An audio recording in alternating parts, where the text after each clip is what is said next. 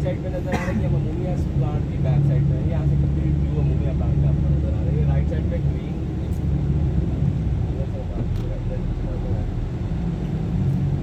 Green सा जो आपको इक्विपमेंट नज़र आ रहा है प्राइमरी फॉर्मर या फर्नेस है अच्छा ये जिस एरिया से गुजर रहे हैं, ये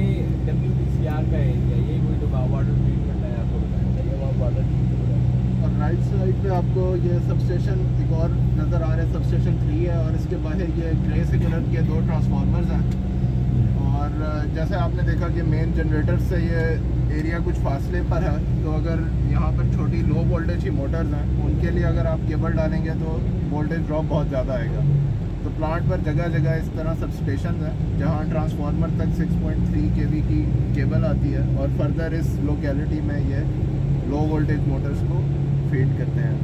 अभी हमारे सामने दो एक आपको बहुत बड़े से टैंक्स नज़र आ रहे होंगे। अभी हम प्लांट वन से निकल चुके हैं या प्लांट टू की तरफ़ आ रहे हैं। ये आपको लेफ़्ट साइड के ऊपर दो